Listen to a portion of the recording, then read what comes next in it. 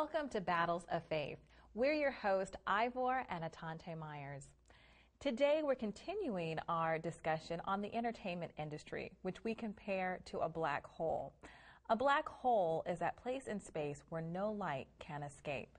Today, our program is dealing with music, particularly rock music and hip hop music.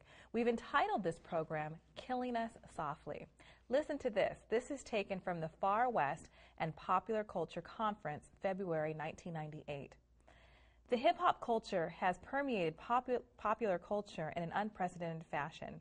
Because of its enormous crossover appeal, the hip hop culture is potentially gr- a great unifier of diverse populations.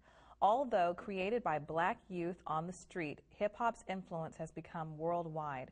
Approximately 75% of the rap and hip hop audience is non black. It has gone from the fringes to the suburbs and into the corporate boardrooms. Indeed, McDonald's, Coca Cola, Sprite, Nike, and other corporate giants have capitalized on this phenomenon. Now, I don't agree that it's a unifier. However, what's interesting in this article is that approximately 75% of the rap and hip hop audience is non black. Because I think that when we think of hip hop music, we think of black kids on the street listening mm-hmm. to rap music and break mm-hmm. dancing and those kind of things, where hip hop has gone much further than that. Right. Well, I would actually say that I do believe that hip hop is a unifier uh, but just in the wrong in way. In the wrong way, right. And uh, we see that because this music has uh, crossed all cultural barriers. And uh, we had spoken on another program just sharing that you can go almost to any country, uh, even to Iraq and Israel, and you will find that rap music has become a part of the culture there in expressing uh, the, the feelings of the youth uh, in the culture in particular. So yeah, it's gone across all boundaries, and uh, it definitely is unifying people across the world.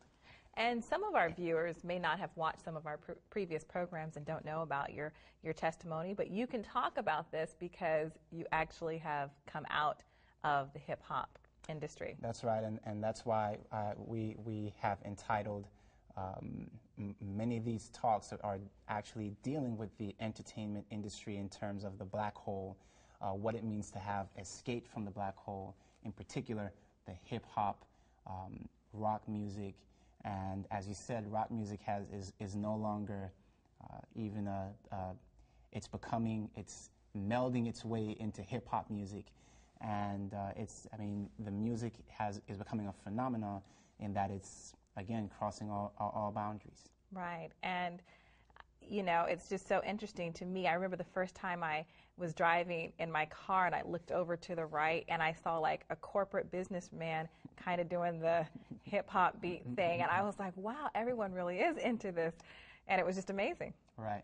Well, in the context of uh, what we're talking about, the black hole, killing us softly, you know, there was a song that came out uh, some years back uh, called Killing Me Softly and it was about killing, about uh, the words in a particular song that were having an effect upon this person's emotions and feelings. And we thought it appropriate to uh, entitle this program, program Killing Us Softly because we we, want to look at what rock music and rap music uh, does to a person's spirit, to a person's character.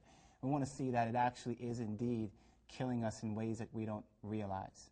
That's right. We just think we're listening to a to a heavy beat and and some words, but it's actually doing something to us. That's right. Let's take a look in the book of Revelation, and we invite you, as usual, to get your Bibles. We're going to open up to Revelation chapter 18 on the content. We have been focusing in on this text because it sheds so much light on the battle that we are up against. We, the title of this program, Battles of Faith, we're talking about what it takes to overcome. Uh, in fact, Revelation 12 11 calls us to overcome and to overcome by the blood of the Lamb. We're going to talk about that in a later program, but uh, we want to focus in right now on, on this, on the concept of this battle in terms of hip hop and rock music. Let's notice verse 23 of Revelation chapter 18. And the context here, this is speaking about the fall of Babylon. Now remember that because Babylon uh, is, is a key player in last day events. And notice what it says here in verse 23 And the light of a candle shall shine no more at all in thee, and the voice of the bridegroom and of the bride shall be heard no more at all in thee. For thy merchants were the great men of the earth, for by thy sorceries were all nations deceived. All right, and we see there that uh, according to the scripture, it is uh, Babylon's sorceries that deceive all the nations. Um, we've discussed the word before. Sorcery uh, is the Greek word pharmakeia, and we'll put that word up on the screen again. Uh, that word pharmakeia means uh, anything that medicates the mind so that it will not follow the will or the law of God. And we hope that you remember that because that, that understanding is so important because what it does is it opens up our understanding to see wait a minute, uh, sorcery is not just Harry Potter, even though it is, um, but it's not limited to Harry Potter. It's not limited to reading your uh, astro- uh, you know, horoscopes or, or different, going to a, a, a palm reader and things like that. But it is in actuality anything that medicates the mind so that it will not follow the will or the law of God.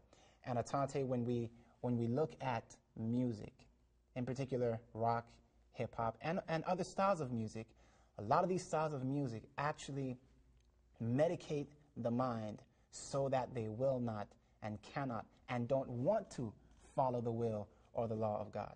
You know, many people believe that music just doesn't have that power. They believe that, you know, they're just listening to some lyrics and there's a melody, and in, in rock and hip hop, there might be a heavy beat behind that, and that's all it is. It, just, it, it doesn't go any further than that. Well, we had just said a little bit earlier that this particular concept, this particular text is speaking about Babylon. And if you remember the story of Daniel, I believe it's Daniel chapter 3, where uh, Nebuchadnezzar had set up this golden image, and he invited all the people to come and to worship the image. And you know, music played a very important part in that, uh, in that scenario.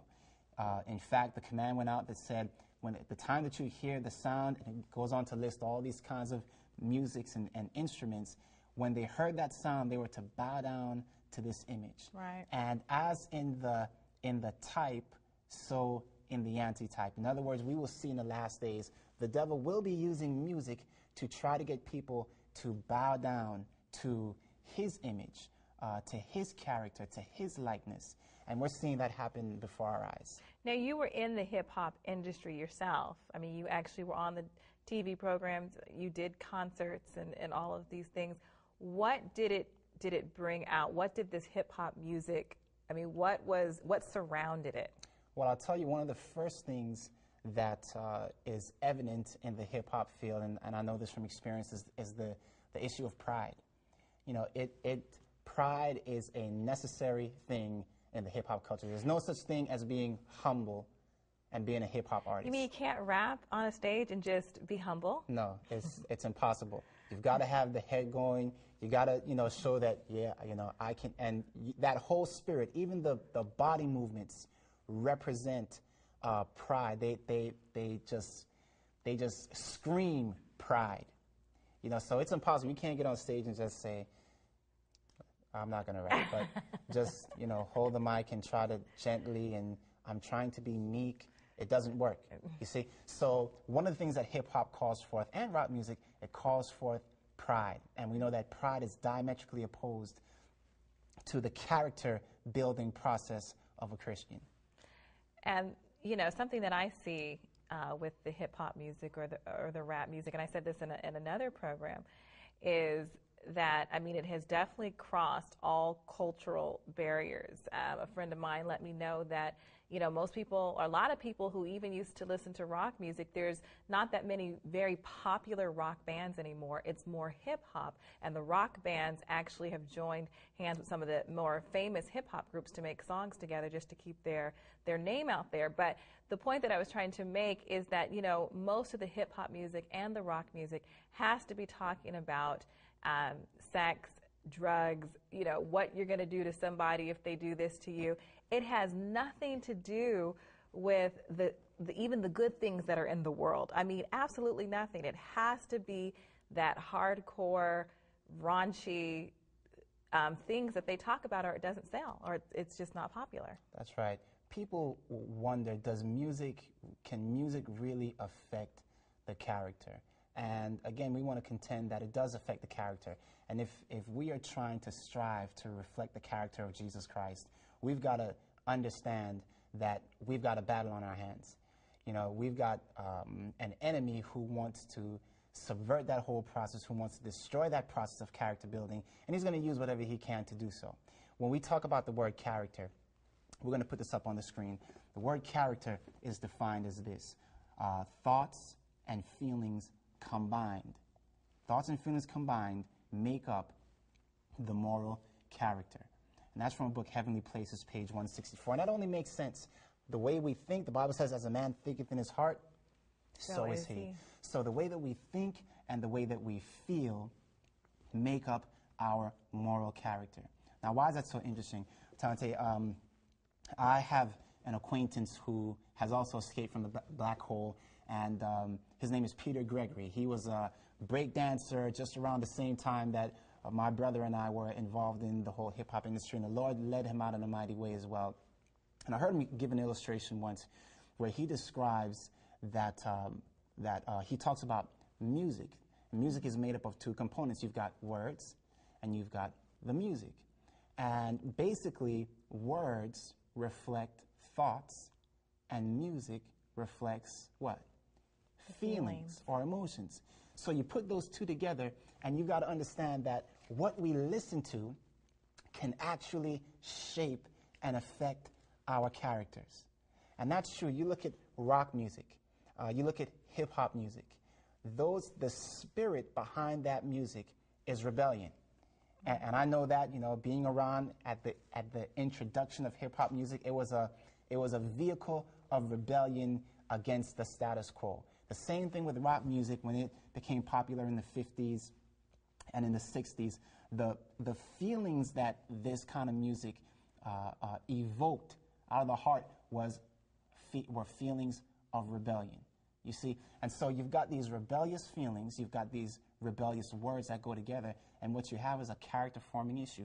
And it's not only with rock and hip hop. I mean, you know, the devil will use any kind of music he can in order to uh, shape our character. You know, you think of some, even some styles of country music. Right. You know, sometimes country music can be known for being very depressing. You know, so even in country music, there, there are certain, you know, certain country songs that are good, and then certain ones that was going to get in there and say, you know, just moan and groan and be sad, and, you know, my dog died, and, you know, everything else. So we've got sure to realize. They talk about more than that. Of but course, right.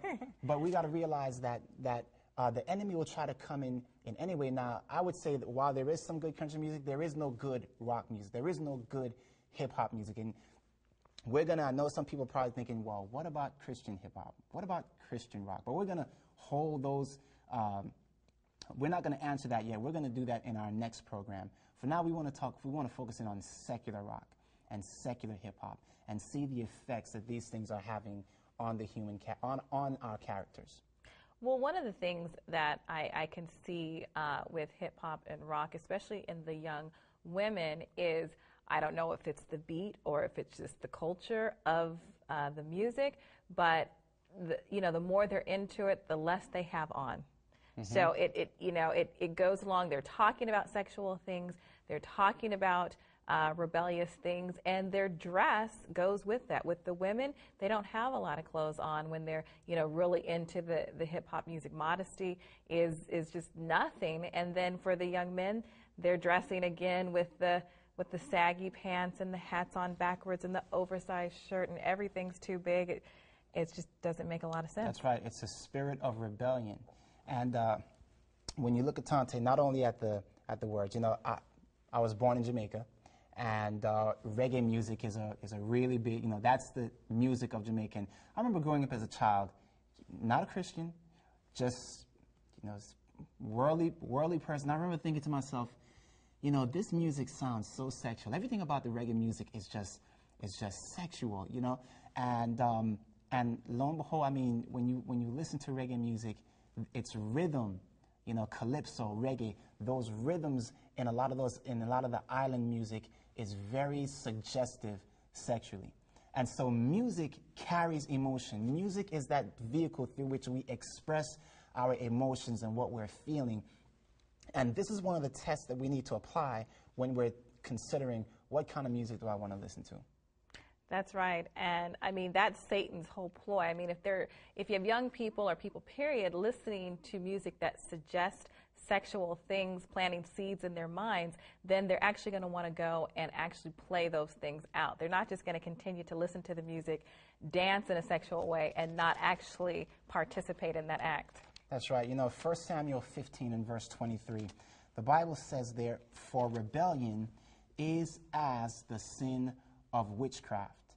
And uh, we, we notice that the word witchcraft actually means to whisper a spell. And again, I suggest that through uh, a lot of this music, when, when these people are speaking, you know, some rap song comes out and the guy is speaking in the first person. I do this and I do that and I shoot this guy and I do this and I get all these girls and all these different things.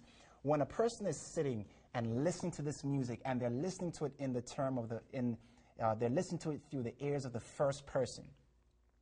I believe that the devil himself, through those words which he inspired, is speaking in first person form and, and is hypnotizing Atante. It's saying, I, and you know, you're sitting there, you're listening, and you're going, yep, that's right, I do this, and I want to do that. And this is how that form of hypnotism actually uh, spreads itself. Thousands, millions of kids listen to this, and they're hearing one guy going, I do this, and I, and they're saying, I want to be like my hero. I want to be like my, and what you have happening is witchcraft. You have people who are being whispered to through the enemy and saying, Don't you want to be like this? Don't you want to do like this? Don't you want to act like this? And really, what it is, is the working of the devil. And people may be thinking out there, I wonder why they're just so focused on hip hop. But again, hip hop music is taking over the world, literally. When most of the commercials on TV, on their back, their background music is hip hop music. Like we mentioned in the beginning, Nike, Coca Cola, Sprite, they all use the hip hop beat to sell their products. And so it's taking over. That's right. And uh, jumping now, this is going into the rock realm. I remember back in 1994, I believe it was, there was a video, a popular video that came out. I mean, it just broke a lot of standards. But it was a video about a young child uh, who was being teased at school. And uh, one day he walks into the classroom with a gun and he shoots himself in his classroom. And everybody thought, oh, this video is just wow, incredible. And everybody was ranting and raving about the video. And it was shortly after that, Atante, that school shootings began to become more and more uh, uh, constant, you know. And I don't think anyone has ever stopped to think, could it have been that this particular song, with its lyrics about giving, you know, giving the idea of going into school and proving uh, that you are somebody by going in and taking a gun and doing uh, harm, is it possible that that could have been uh, played a part in the beginning of what we're now seeing as a string of school shootings? Oh, definitely. It's definitely connected.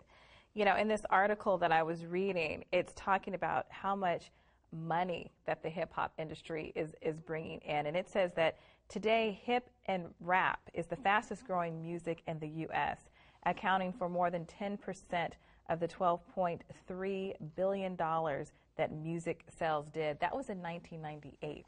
So I know now that it, it's even more. It takes me back to you know, the love of money is the root of all evil. Mm-hmm. The entertainment industry is not interested, or the music industry is not interested in saying, you know what, let's regulate this rap music. Let's, you know, let's let's clean it up a little bit. Let's not allow so many curse words, or, you know, don't talk about sex so much, or, you know, the bad things that you're going to do to this person or that person. They don't care about that. They are going to allow our young people to hear and experience anything if it's going to bring in money. That's right.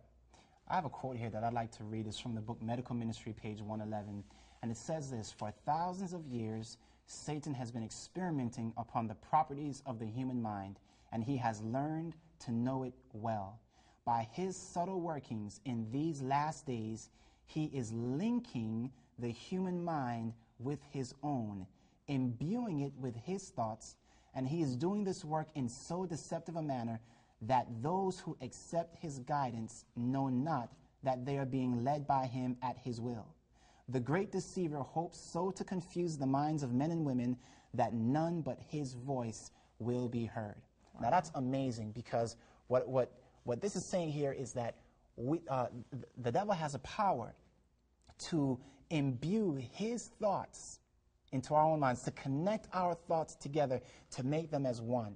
There's a word that um, most people will probably understand, but the word is syncopation. Syncopation. And uh, basically, the word means to fuse together. Okay? And when we talk about syncopation, we're generally talking about what kind of music? Rock and hip hop. Because what happens is um, they take a rhythm and they basically cut off the beginning of one part of the rhythm, the end of, the, of one part of the rhythm, and they fuse it together, uh, making, an, um, making this, this fusion through, the, uh, through music. And so it's called syncopation. And, and I just wonder, Tante, could it be possible that through this style of music, which is uh, very effective in bringing about a spirit of rebellion, could it be that Satan himself is syncopating or fusing together his thoughts hmm. with our own? Yes. I think it's very possible, and I think it is happening. As so many friends that I have who, who are in the hip hop industry and who have been in the hip hop industry have, have lived and have, have experienced that lifestyle of rebellion. I don't want anything to do with Jesus. You know, if I, if I come to Jesus, then he's going to take away all the fun that I'm having right now. And this is one of the greatest barriers that stop people from coming to God because that music says that you can do your own thing. You can live your own way. And this is the spirit of rebellion. You're right, Ivor. The music, hip hop music, does produce the spirit of rebellion. But you know, there might be some people out there who are thinking, you know, I want to give this up, but it's it's too difficult. It seems to have control over me. I want to. It reminds me of something that happened to me when I was a teenager, and I was listening to Prince, and I don't remember where I heard it from, but you know, I heard that really Prince's music was from the devil, and I thought, you know what, maybe I will stop listening to this music. So I threw the tape away. I can remember throwing it away in the garbage. And do you know that tape kept resurf- resurfacing? And I know that my parents were not taking the tape out of the garbage can. I really believe demonic spirit, spirits were taking the tape and trying to bring it back into my life. But I can testify that if you really want to give this music up and to allow God to help you to listen to music that's edifying to Him, that will draw you closer to Him, He can give you the power and He can overcome Satan's supernatural power that He tries to put upon us. That's right. You know, the Bible says in Romans chapter 8, verse 6, it says, To be carnally minded is death, but to be spiritually minded is life and peace.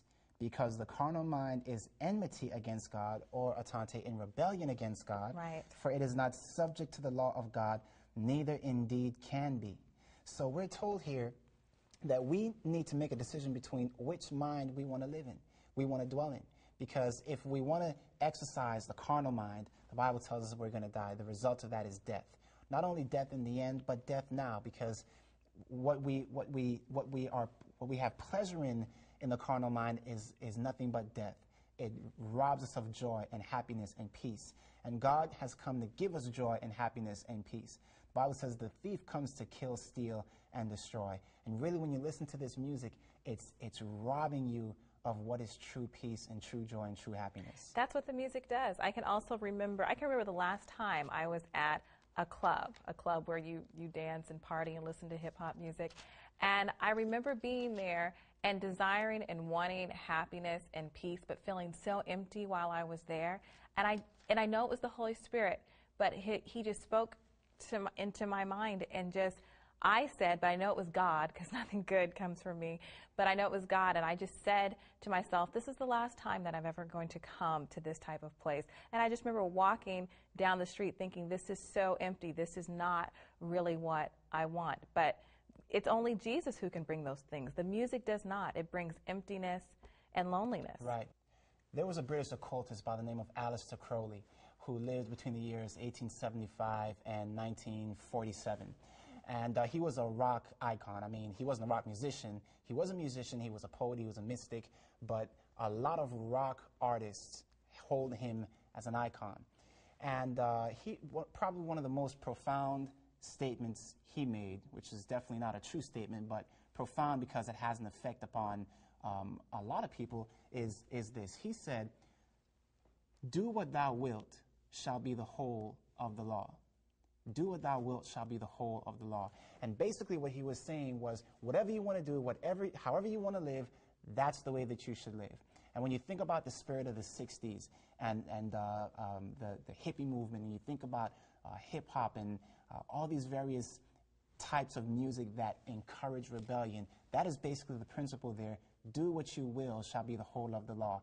And uh, this is, again, diametrically opposed to ca- the character building that Jesus wants to take us through. God says, I want you to submit yourself to me. This law says, do what you will shall be the whole of the law. I remember when I was coming out of this industry and I asked the Lord, Lord, please, you need to give me the strength to break away from this. And it was a struggle. But you know what? God gave me the power and the strength to do it. And cutting that off made my journey out of the black hole much, much, much easier, much, much, much quicker. And I mean, I praise God for, for Him giving me the power to do that. Praise God for that. And, you know, I know there's people out there thinking, well, what do we listen to then? You know, does, does God like music? Well, God does love music. I mean, music started in heaven. We right, know that. Right. Well, you know, we're going to talk about that more in our next program.